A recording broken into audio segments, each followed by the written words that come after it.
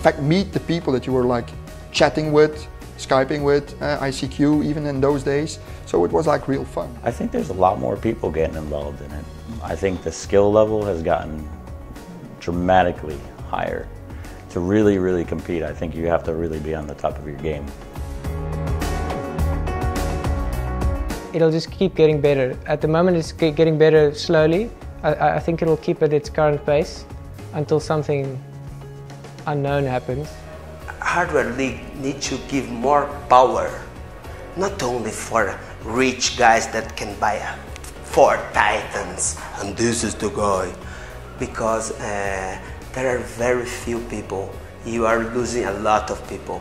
I think the, for, for me the highlight is really when, when it turned from a hobby into a job. Like it's really what I love to do and in the beginning I always thought like yeah this is a very special hobby and something you really cannot turn into a job.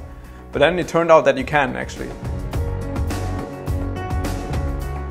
I'm a, I guess you could call it a social butterfly. It's not just something you can just pick up and do. It's something you have to put a lot of love into.